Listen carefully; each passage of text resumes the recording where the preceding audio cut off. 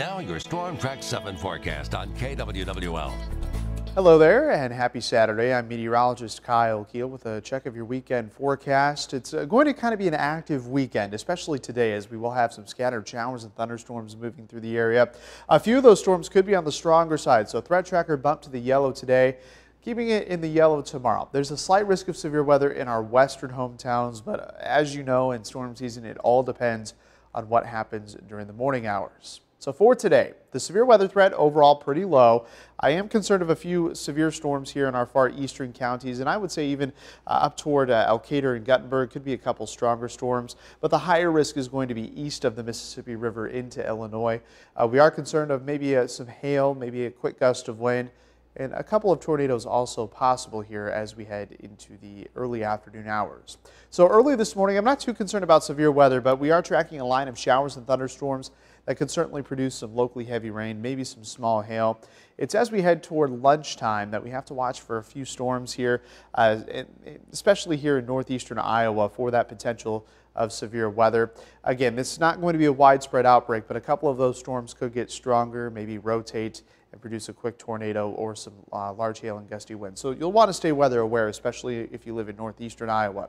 By 4 o'clock this afternoon, we'll keep scattered showers, a couple thunderstorms in the forecast. This activity tracks off to the northeast this evening, and we'll be left with a partly cloudy to mostly clear sky overnight. As we head into Sunday morning, there could be a few patchy areas of fog early on. Otherwise, we'll see a partly sunny sky. Uh, we'll have to watch that activity here off to the northwest because this could dive a little farther to the south and that could impact our weather here throughout the day. So uh, Sunday's forecast, a little less confidence. Again, you have the idea that there are a few showers and thunderstorms in the forecast. It just all kind of depends on what happens with that complex in the morning. So you'll certainly want to stay up to date. Uh, we'll frequently update the forecast here between now and Sunday.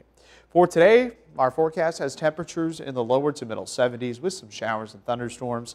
We'll have a variable wind at 10 to 15.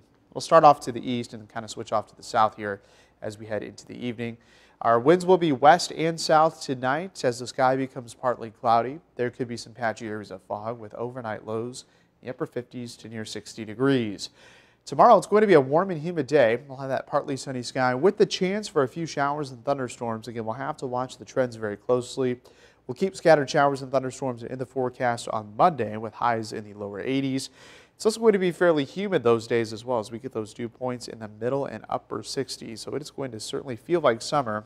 In fact, the unofficial start of summer is on Memorial Day. We'll kind of have a stagnant weather pattern here for the first half of the work week with uh, several chances for showers and thunderstorms. Not all day washouts, but certainly off and on chances are there. Highs will be in the upper 70s here through next week.